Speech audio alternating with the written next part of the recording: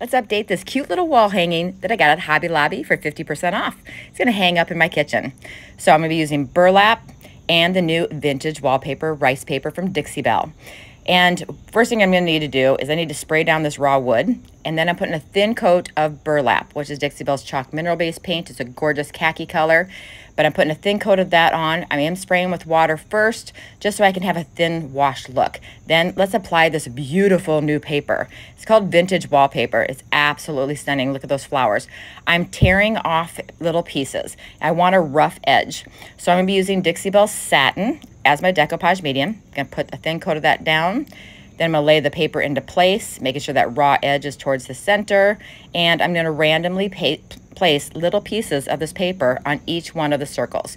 This is gonna be such a cute, cute wall hanging. You notice I have excess paper hanging off the edge, no problem. We're gonna sand that off. Putting clear coat on the top to seal down that paper.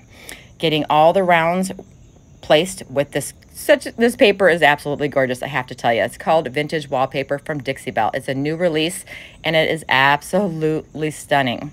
Okay now i let it dry for about an hour came back and i'm using my dixie belle sanding sponge. It's a 220 grit sanding sponge just to get a clean edge all the way around the paper.